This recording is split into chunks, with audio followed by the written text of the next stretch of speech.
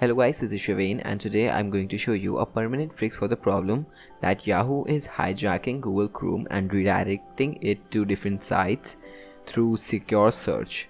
So this problem still persists in my computer and then I decided not to make a video until I figured this out. So I think I've pretty much figured it out.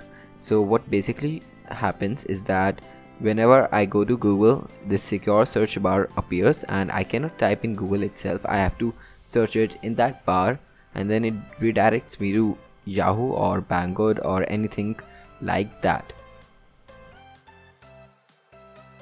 So to fix it what I did was I went to settings.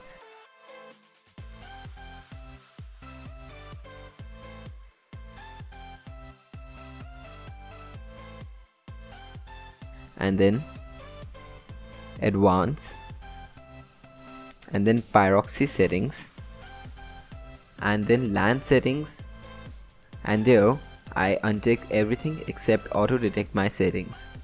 So usually if you have the same problem as me you would have this configuration script and the address and what you have to do is that delete the address and untick this configuration script.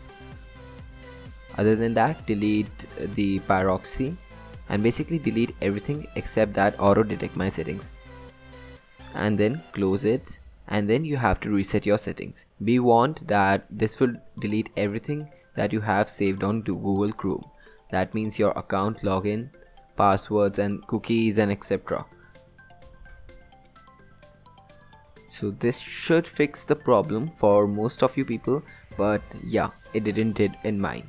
So the problem still persisted and the way I solved it was by downloading the ZHP cleaner. So I already featured ADW cleaner in my in one of my videos and you can check it out in the link in the description. It may help you out there. So this cleaner so this cleaner actually helped me out a lot. I would link it in the description below for you to check out easily. You just have to download this, install it. I won't do it because I already have done it and then run it and once you do that this window must open up you first have to scan your system and it would take a while and then once it has finished you would then have to click on the repair button and then it would start repairing your browser. Then you just have to restart your PC and the problem should go away. So as you can see the problem went away in my case. There's no secure search anymore and I hope you enjoyed this video and it helped you out. Please remember to subscribe to my channel whatever you do. Hit that subscribe button and I'll see you in the next video. Bye.